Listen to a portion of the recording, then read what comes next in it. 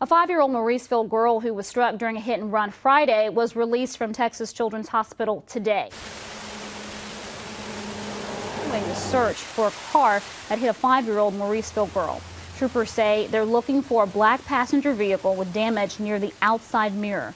Kayla Lopez was released from the hospital after she was flown there by helicopter Saturday. Troopers say she was diagnosed with a skull fracture and is walking and talking normally, but has several follow-up visits ahead.